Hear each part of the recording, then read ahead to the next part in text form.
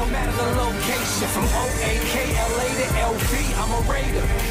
Raider Nation, what's going on? You guys are watching Raider Sports Raiders mailbag time. So this is your opportunity to get your questions, your comments featured on the show. All you got to do is join me every single Tuesday, 6 p.m. Eastern Time, 3 p.m. Pacific. You can use hashtag Raiders, or you can super chat, or you can go to Magic Spoon and make sure you guys get some healthy cereal. Save five dollars off. That link is available for you all in the comments and in the description. MagicSpoon.com/Raiders. First one's coming in here from Hashim.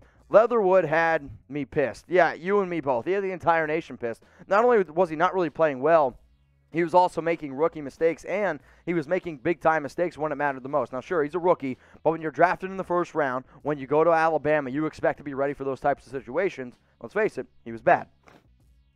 Top beats. Yo, Mitch, drink water. Do you think that Carr needs to throw more to Edwards Ruggs than always targeting Waller as his first look? He has a great tight end, but I, I hear you there. There was probably, I'll say, five throws where I was like, Carr forced that. And Carr, the entire time, stared down Waller, stared him down, stared him down, still tried to force it in. Now, sometimes you can do that when you have a player like him because on, on even bad balls, like he's going to be able to at least break it up or give you a chance. But I anticipate them to target probably Bryan Edwards a little bit more because he played a lot better down the stretch of that game. So I, I initially said that I think Ruggs could end up getting more targets and more yards. I might go ahead and switch that Bryan Edwards, though. But yes, I'm going to get some water. Let's go to Gruden's Grinders here. Mitch, I know what you need. Go home, grab your gal, and get your comfies and some snacks and aqua and relax while watching some Bachelor in Paradise. I will not watch Bachelor in Paradise, though. My girlfriend does love the regular Bachelor show, but uh, when I go home, I'm going to see my dog Chuck and give him a big hug. We're going to go for a little walk, and then, yeah, I'm probably going to sleep for a solid, I don't know, eight, nine, ten hours if I can. And then I got a bright and early day tomorrow with a lot of Raiders videos and a lot of NFL stuff. But don't worry, no days off here. I got you.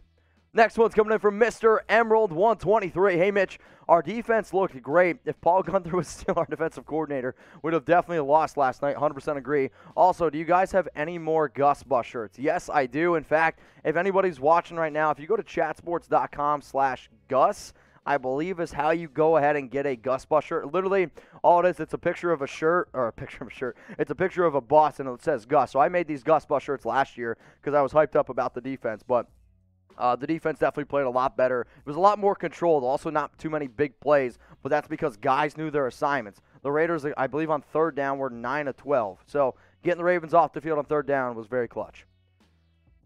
The Gonzo 6, should we get DeCastro for right guard?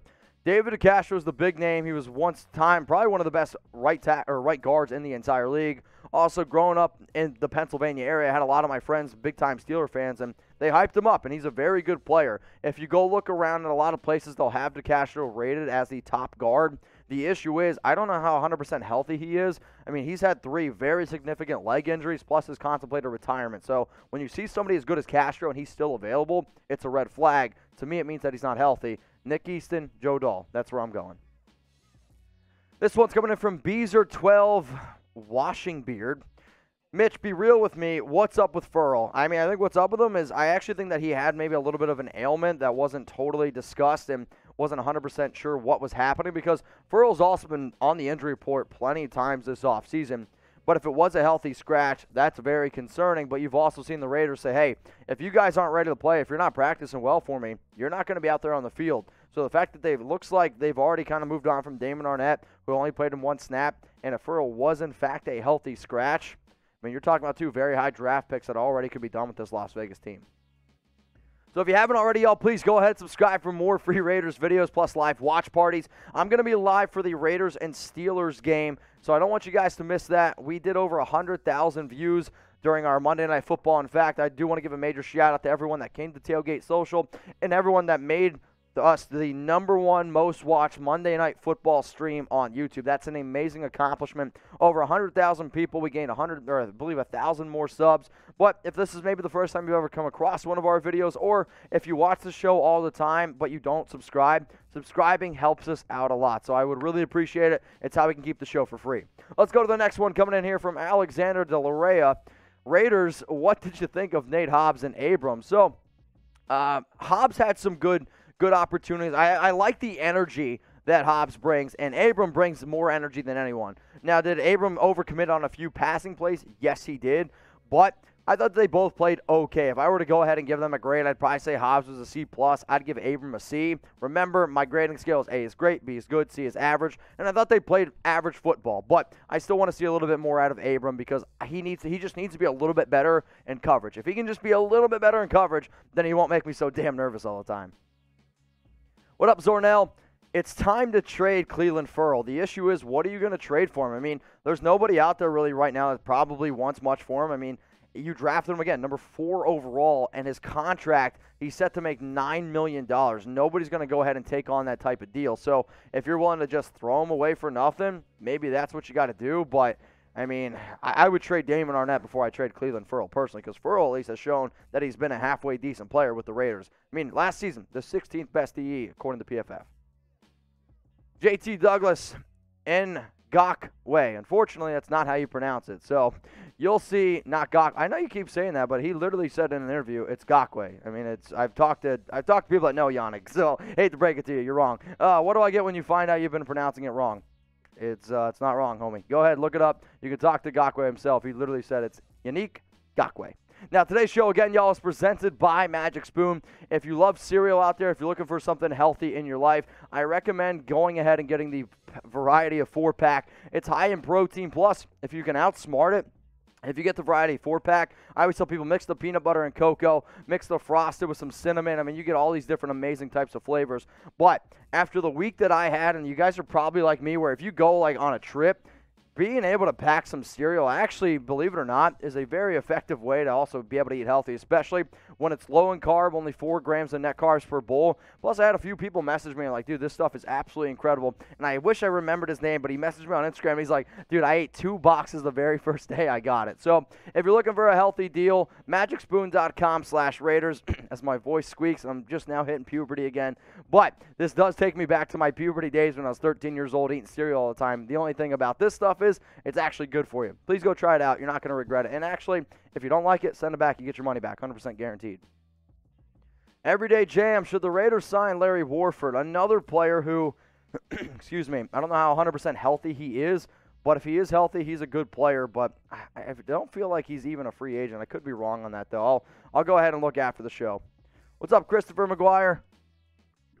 I can see Renfrow being a mismatch for the Steelers if they double Waller they're going to double Waller. There was times even this past game where the Ravens were tripling Waller. If, if you want to go ahead and beat Pittsburgh, I mean, they got two good cornerbacks. They have two very good safeties as well, and they got good pass rushes, obviously, in T.J. Watt. With the, with the ability to be able to pass rush that the Steelers have, and with the offensive line the Raiders have right now being very suspect, I anticipate a lot of quick routes coming out. So whether it's going to be a lot of Kenyon Drake, whether it's going to be a lot of Renfrow, you're going to see a lot of intermediate routes in this one, and really Derek trying to get rid of it quick. What up, Robert TP? Hey, Mitch, can you send a shout out to my little Raiders, uh, Robert and Layla, who watch your channel with me? Everyone down in the comments, give a shout out to Robert, give a shout out to Layla. That's what it's all about. The amount of family. The, I met this one guy in Vegas. I'm going to go on a tangent here a little bit, who literally was like, hey, man, we watch your show all the time, and I remember growing up with my dad, we'd watch Smart Guy at dinner, and this guy literally was like, "We every single dinner we sit down and watch the Raiders board. That is probably the coolest thing ever. So if you watch this show with your son, with your daughter, family's everything to me. So shout out to Robert, shout out to Layla, much love to y'all. Let's go to Elias Rosenthal. How do we get the running game going? You need to find guys that can block on the interior. Kolton Miller, I thought, literally was one of the best left tackles in the entire game. He was absolutely incredible. The right side did not play all that well. Leatherwood, the center, Andre James. I mean, if your center is struggling as bad as what James did, that's really going to put a lot more extra pressure on your guards. And when your guards are even back up, I mean, that's the biggest issue. Jacobs, I thought, played well for the most part. He definitely wasn't 100% healthy, but he had a few cutbacks and he had a few runs where, like, okay, that guy's really legit. But it's also really tough on your running backs when you're basically running the ball and they're getting hit right away. I think it's also one of the reasons why Derek Carr threw the ball over 50 times. Sure, the Raiders were trailing in that game, but even when it was close, they were they were throwing the ball because they were not confident in that interior. So speaking of DC, okay, I like this one. Is Carr elite. Why for yes and for no? I mean, after having a game where 435 passing yards, two touchdowns, led a touchdown drive. He played elite, in my opinion. He played bad in the first quarter, but in the second quarter, played better. Third quarter, played very good. Fourth quarter, absolutely, he played elite. And then overtime, you have to say the exact same thing. He played elite. He basically led two touchdown drives in overtime. So I don't know if he's still an elite quarterback. But he played like a top 10 guy, and he played elite on, on Monday Night Football, and that's when it matters the most. Danny Rango, what up, brother? Update on Deablo. I don't really have much of an update on you. I mean, he just didn't play in this game. I mean, they, they didn't want to go with him. The Raiders were confident in some of their other players that they had out there at the linebacker position. So maybe he's not 100% healthy. Maybe they're going to punt the brakes. But, I mean, sooner or later, we got to get some of these young draft picks that were drafting high. They got to get out there on the field, man. James Ford, what do you think of Ha Ha Clinton Dix signing? So it's funny. I was out at lunch or I think it was breakfast or something like that, when the Raiders signed haha Clinton Dixon. Always my favorite joke is, oh, Monica's going to absolutely love this signing, right? If you don't know that joke, Monica, Clinton Dix, come on, you guys can put it together. Um, but I, I was literally eating dinner and I was like, oh shit, I got to run out real quick on the strip. We were at the LINQ Promenade, and I'm like, I'm just to film something really quick. It's good depth. Uh, I'm not to expect too much out of Dick simply because he's been bouncing around. He tried to play with the Raiders, he tried to play with the Cowboys, and he was once a good dude, once a good player. But the fact that, again, that he's not been 100% healthy, the fact that he's been also reported out of shape, it's a depth move right now, but could be an interesting box safety type of move. That's why the Raiders went out and did it go to Slider Holiday. Could never get a slider down when I used to pitch. Would you package Clelin Ferrell and Damon Arnette to upgrade our offensive line? Who would you get in that package? So the issue is who wants Clelin Ferrell and who wants Damon Arnette. I know that they're both first round picks or former first round picks, but there's not really going to be too many people out there like, ooh, those are two guys that I want. If I could trade both of them to get a pretty good offensive lineman, a pretty good offensive guard, I would do it in a heartbeat. However, Nobody out there is going to be like, I want Clelin Ferrell, and nobody out there is going to say, hey, I want Damon Arnette. If you could get a fourth round pick for Arnette and a third round pick for Ferrell, I would do that. However, I would be shocked if a team gave anybody. I would be shocked if the Raiders got a third or a fourth for Klee, and if they got a fifth round pick for Damon Arnette. I don't think any team out there would ever give up a fifth round pick for Arnette right now. So if you guys are loving what we're doing here at Chat Sports and the Raiders Report, you can always hit me up on Instagram at MitchellRenz365. If you want to drink a beer with me the next time I'm in Las Vegas, I believe the next time I'll be in Vegas is for the Bears game week five. Unfortunately, I guess I shouldn't say unfortunately, uh, one of my buddies is getting married. It was the it was the bachelor party that I went to in Nashville, Tennessee, with all those freaking Chiefs Chiefs fans. But uh, week three against the Dolphins. I'll still do a show on that Sunday. I might be a little bit hungover because I'll be at the wedding, but that I can't go to the I can't go to Las Vegas that weekend. At least it's that's how it looks right now. Bottom line, hit me up on IG, y'all. I appreciate y'all. All right, let's go to Christopher McGuire. Mitch, are you surprised that when the Raiders were at the one yard line, they didn't use Drake in the quarterback position instead of Carr, quarterback QB sneak? I mean, I actually thought about the idea of them trying a QB sneak, but when the I think the biggest reason why they didn't do it is because they weren't confident in James and they weren't confident in their guys being able to really get the push because the entire game the Ravens were absolutely kicking our interior offensive line's butt. So if if you're not confident in us being able to pick up a yard, that's why they didn't go ahead and do that. But I, I understand what you're saying. Let's go to the last question here. P fights Demon. Where do you think the Raiders D will end up in the rankings? I, I, I was super impressed with the way that they finished out that game. If they play the way that they did finishing out that game, they play like a top 10 defense, and that's not a crazy thing to say. To be able to hold Lamar Jackson and that offense to 13 points for three quarters and then overtime, very, very impressive. I'm still going to say they're going to be around somewhere like 15, 16, but if they play the way they did to finish out that game, no reason they can't be top 10.